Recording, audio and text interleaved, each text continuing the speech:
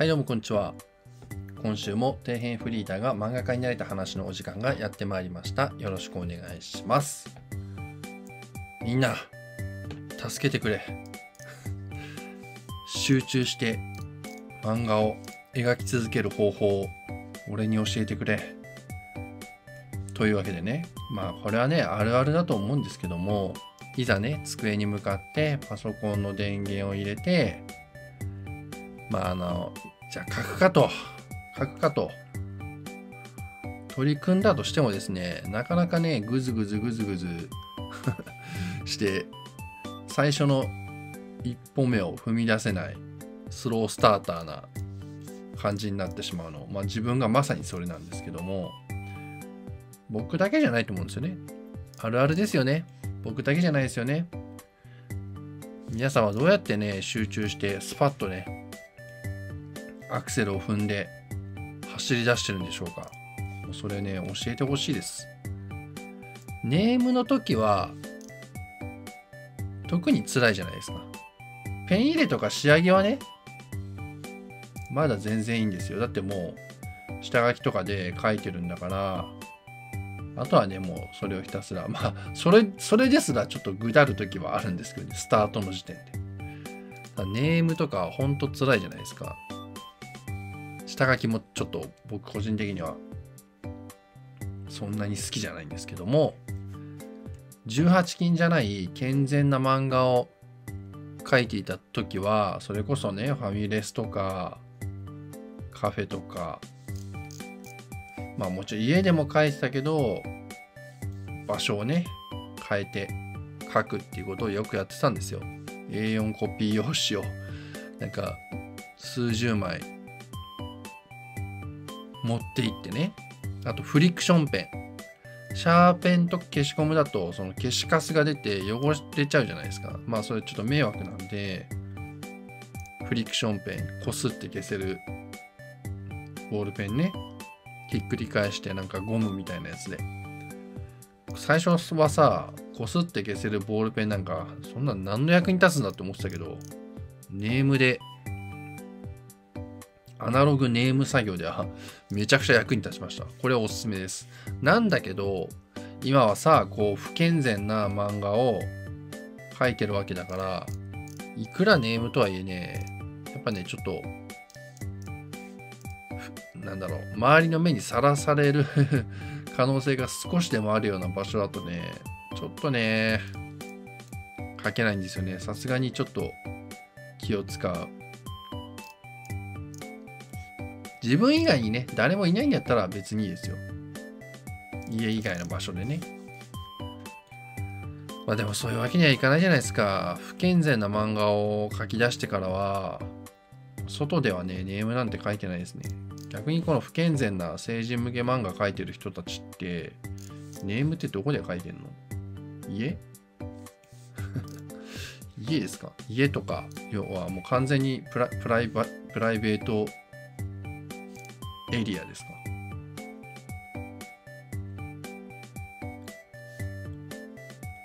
なんかこう、まあ、ね、家、なんつうのかな、こう、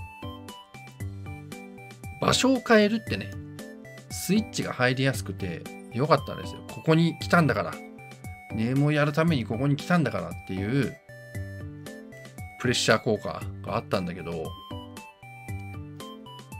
家でやりゃいいじゃんって思う人もね、もちろんいるとは思うんですけどね。家はね、誰の目にもさらされていないから、故に悪魔的な場所なんですよね。なんかそのコロナでさ、そのリモートワーク、テレワークか、テレワークが流行った時もさ、皆さんさ、やっぱ違ったでしょ？いざね、出社する仕事と、いや、まあ家で住むじゃんっていう気づきにはなったところはあると思うんですね。それはそれでいいと思うんだけど、そんなスパッと家だから、なんつうの、俺さ、そういう勤め人になったことないから、具体的に何してるのか わかんないんだけど、サラリーマンの人たちがね、会社に行って、メールチェックとか電話を受けたりするの。いまだにさ、その現バイトとかも俺現場の仕事しかしてないからな何してるのかな？そのお店に巡回する来るスーパーバイザーとかさ。まあその巡回に来るとかはまあまだわかんないけど本社で何してんのかな？っていうね。なんかねもう場所をまあねだから満員電車に乗るのは確かに苦痛なんだけど場所を変える？で仕事に出るっていうのはねやっぱスイッチが入るっていう意味では有効なんですよね。まあ人それぞれだとは思いますよ。もちろん。僕の場合さその不健全なこの漫画を描くあれだとさどうしてもなんつうのかな。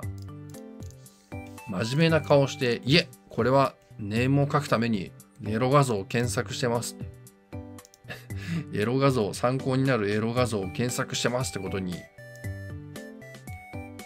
なるんですよ。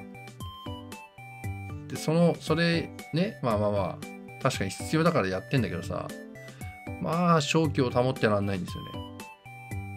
気がついたら我を忘れてなんかあのファンファンザ動画のサンプル動画をひたすら再生しまくってる 仕事を忘れてサンプル動画を再生しまくってとりあえずお気に入りに登録しているぶっ込んでる猿になり下がってるわけですよね。だからね叱ってほしい。そんな自分をそばにいて。あのフリー早々のフリーレンのユーベルみたいな女の子でもいいしロロリサトウサちゃんでもいいし。そんな子たちが僕のそばにいて叱ってほしい。エロ画像を検索し始めたら。そういうアシスタント欲しいですね。別にあの絵描かなくていいから。見張ってくれる監視してくれる叱ってくれるたまに肩揉んでくれる女の子のアシスタントが欲しいです。ワークスペースあのね一瞬ちょっとね一時期本気で思ったのがもうワークスペース？借りてやろうかなって昔ちょいちょいぐらい前にね検索したんだけどね近場にないんですよ今住んでる場所にそういうの。まあでも電車にね乗って遠出してやるっていうのもありなのかもしんないな。もうちょっと仕事が軌道に乗ったら。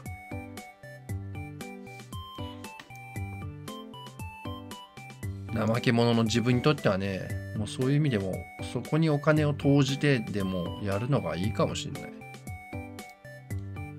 ずっと引きこもりがちっていうのも改善できるしそのねできない理由なんでだろうなと思ったらやっぱねそのずっと昼夜逆転生活が続いて自分のすごいペンが走り出す時間帯が深夜12時から朝の4時5時とかそれぐらいがねすごく自分の中のピークタイムだったんですよ。なんかここまで来るともう残り自分の一日の時間がもう終わりまで近づいてる。まあ終わりっていうのは朝6時に寝るからっていう理由なんだけど。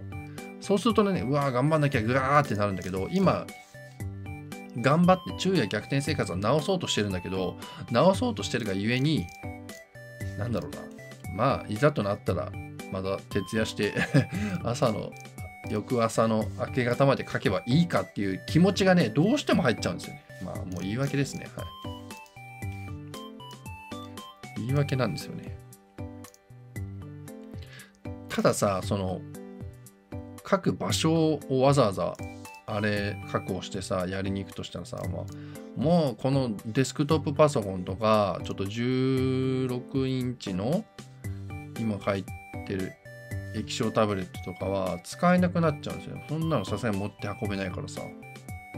そういう意味でも iPad 欲しくなっちゃうんだよね。ただ iPad 版だとクリップスタジオが月額制になるっていうのが、それがちょっと腹立たしいんですよね。すでにもう買い切り版を買ってる人ですら問答無用で月額制なんでしょう。そこがね、ちょっと、そこがちょっとね、あれなんですけど。最近、こう思い出したツール、ツールっていうか、あって、その、それがね、今ちょっと画面に出すってると思うんですけども、工房、QOVO、工房ですね。これね、昔使ってたんですよ。だけど気がついたら使わなくなって、で、ある時、あれ？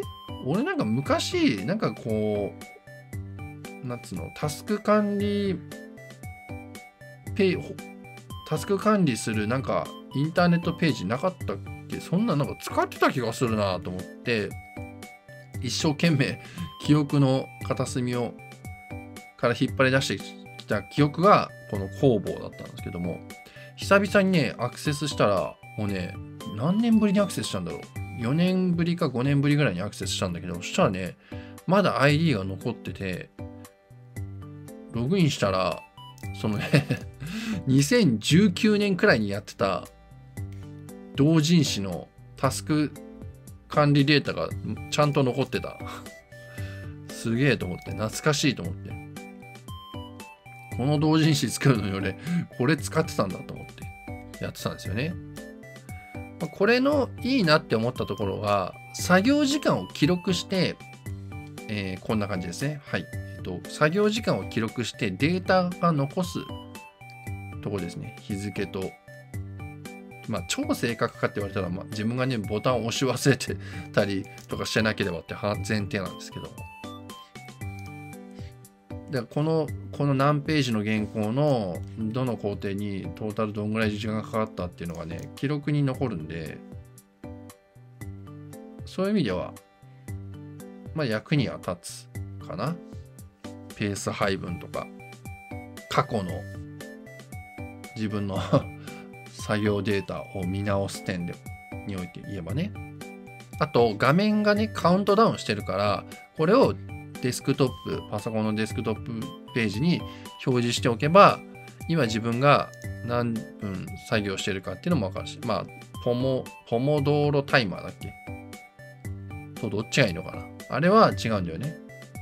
休憩する時間と作業時間がもう決まっててはい、作業してください。はい、休憩してくださいっていう、あれ、まあ、あのシステムとは違う。単純に今、作業してる時間がカウントダウンされて、あ今もうこんぐらいぶっ続けでやってんだとか、わかるんですけどね。その画面をね、なんか動いてないデスクトップ画面に基本的にね液晶モニタ液晶タブレットを見て書いてるから別にデスクトップには特に何も表示してなかったんですけど、何にも表示してないとなんかふと気になったことで検索をかけて別に今わざわざ調べなくてもいいようなことを調べちゃうんですけども一応カウントダウンカウントが動いてる画面を表示しておけばなんだろうちょっと抑止力にはなる気がする。あくまで気が気のせいだと思うけど。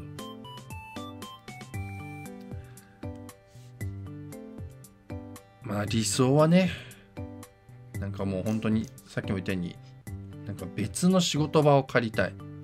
家と切り離したい。ただつっても、電車で買うようなところには 置きたくない。徒歩で行ける。なんだっけないや、だからもう、売れっ子作家さんはそうしてるよね。なんか、前、ちょっと何の番組か忘れたけどさ、仕事場は別に、のところに借りて、家はここで、みたいな。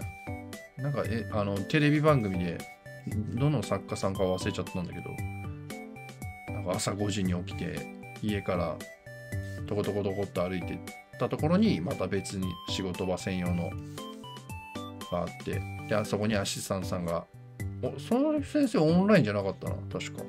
アシスタントさんが来てた。そのアシスタントねこのアシスタントといえばですよ。まあ、今はこうデジタルが主流になってるからわざわざその現場にね出向くことは多分ないわけですよね。ほぼ。昔に比べたらもうだいぶ減ってると思うんですけど実態を調べてないから何とも言えないんですが。ただこう通ってた頃まだこのクリップスタジオがまあコミックスタジオか昔は。まだ主流じゃない。時代の時は当然通いしかなかったわけですよね。アナログで書いてるわけは。時は。そういう時にさ あのアシスタントのさ応募要項募集要項なんかそういうのは雑誌に載ってた気がするんですよ。でなんつうの？東京都通いみたいな。通いとか泊まりとか書いてあって。東京都練馬区とかね最寄り駅大泉学園駅とかねそういうのがあってさ。でなおかつ詳細を読んでいくとその作者の人が喫煙者だからタバコ OK な人っていうね。もしくは先生自身が非喫煙者だから仕事場では机の上ではタバコは吸えないんですけどベランダではでベランダで吸ってもらいますとかね。優しいねその先生。ベランダで吸ってもらいますみたいな。一応喫煙所はベランダで吸ってくださいみたいな。もしくはもう完全うちはもうタバコ NG ですっていうね。あとあのね家とまあ大体だから昔は家とね仕事場イコール家みたいな人が多分多かったからだと思うんだけどつのかな。犬猫飼ってるんで大丈夫な人っていうね。まあもちろんね犬猫犬ちゃん猫ちゃんが 仕事場に 乱入してくるっていう、まあ、もしくはまあ要は動物のね毛がね発生しちゃうからアレルギーがある人だとね大変なことになっちゃうからまあ心遣いというかそういうね表記があるからあって致し方なしみたいなね。今そういうさ募集要項を出してる先生いるんですかね。通いとか泊まりとかな。僕がかつてその通ってたアシスタント先は完全家と仕事がもう分家と仕事場が分離している。先生は別の場所にまあ近所ね。近所の家があってそこに住んでるみたいな感じだったんですけど家とね一体化になってるところのアシスタントはやったことがないんで皆さん視聴者の皆さんは行った経験ありますか？何か良ければエピソードを教えてください。あとさもうこれ完全にただの ヨタ話というかただの俺の妄想の話でしかないんだけどこうそういうさワークスペースを提供する事業ってないのかな？その、なんつうの、コワーキングスペースって事業はもう当たり前にあるじゃないですか。だそうじゃなくて、その漫画家とかイラストレーターとかクリエイター向けのワークスペース、レンタルスペースみたいな。普通のコワーキングスペースじゃなくて、なんかこうね、シャラ臭い MacBook とスターバックスタバ片手に意識高い系、えー のやつらが出入りできないようなクリエイター向けのレンタルワークスペース。ないかな。クリスタとかアドビ系のソフトをインストールしてパソコンね。そういったデスクトップパソコンを完備して液晶タブレットもまあね24インチぐらいのでかいのを用意して用意してますみたいな。ぜひこれ使ってくださいみたいな。だからもうあなたはキャンバスデータだけ持ってくれば OK みたいな。もちろんね、自分のパソコン、タブレット、もしくは iPad で作業したい人は、人も持ち込んで作業できるみたいな。その、そういう余計なものがないスペースも用意してますみたいな。24時間、出入り OK。完全、個室。個室、まあもしくはなんだろう、パーテーションで仕切ってますみたいなね。見られませんみたいなね。えー、コーヒー、紅茶、お茶、緑茶、ミネラルウォーター、飲み放題。そして進捗をいちいち聞きに来る女の子付き。居眠りしてくれ、居眠りしてたら叩き起こしてくれます。その女の子は。そして疲れてく、疲れてる時はその女の子は肩揉んでくれます。仮眠スペースもあります。仮眠スペースも用意。シャワールームももちろん用意。アナログ作業ができるスペースも用意してます。どうよ？このクリエイター向けのレンタルワークスペース。ワークスペース事業。俺、宝くじ当てたら、漫画家辞めて、その事業スタートアップさせるわ。はい。えー、そんなね、ヨタ話も、あまあ、需要ありそうでなさそうだな。だって家で完結しちゃうしっていう人の方が 多分多いんだろうね。さっきのその肩叩き起こしてくれたり、肩揉んでくれたり、進捗をいちいち聞きに来て、聞いて嫌味を言ってくれる女の子がいない限りは、需要なさそう。はい。っていう、僕のヨタ話でした。僕のね、あの、まあ、ビジネスチャンスだと思うんで、もしよかったら、僕にちょっとあの なんかそういうね、発発案、僕一応ちょっと発案者ってことをここで名乗っておくんで、なんか面白そうだなと思ったらぜひやってみてください。はい。何言ってんだ俺は、えー、今回はね、こんなところですね。来週何喋ろう来週は、えー、まあわかりません。今回はね、ちょっとっていうか、この絵自体ね、筆ペンで書いてるんですけど、まあね、もうサムネの絵なんて別にもう どうでもいいから もう筆ペンでいいやみたいな。昔ね、こんなことやってたわ。しかもアナログね、アナログの筆ペン。アナログだからもうほんと一発勝負だからさ、ささっと書いた、えっと、下書きの絵に、もうこうガッガッってね、まあこれはね、アナログだ、あのデジタルだから、いくらでもやり直しは聞くけど、やってたな、こんな感じの絵を。単なる漫画じゃなくて、もちろんイラストでね。はい、えー、今回はこんなところです。また来週です。お疲れ様でした。あー、てか、えー、いつもの動画流します。はい。2024年6月2日日曜日、底辺フリーターが漫画家になれた話、オフ会トークライブを開催します。会場は未来スペース市ヶ谷、12時スタート予定です。参加費は1000円です。詳しくは3月15日に投稿したオフ会トークライブ開催決定の動画をご覧ください。よろしくお願いします。